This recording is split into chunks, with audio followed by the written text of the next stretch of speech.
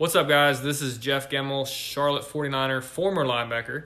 It's the hometown kid, Austin P. Duke. Zeb Little here, number 38. What's up, guys?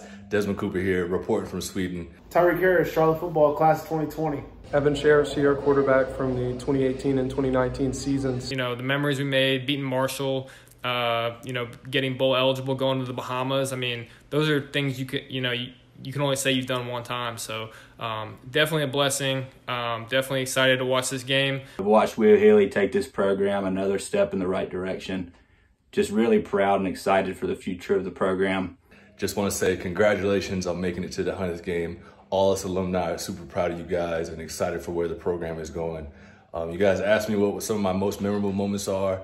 Number one is going to be the first ever touchdown scored in school history was on defense and I was a part of it. One time, I remember coming on this campus as a freshman in 2015, brand new, looking to make a name for myself in the university.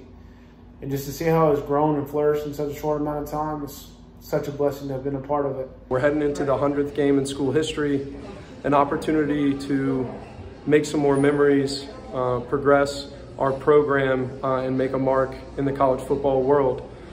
Thank you guys for everything that you've done to get us here on campus, your sacrifices, your energy, the support each and every Saturday. It was greatly appreciated and you truly made it memorable and special to play here. So let's keep it rolling. Niner Nation, you are family. It's always love. Go Niners.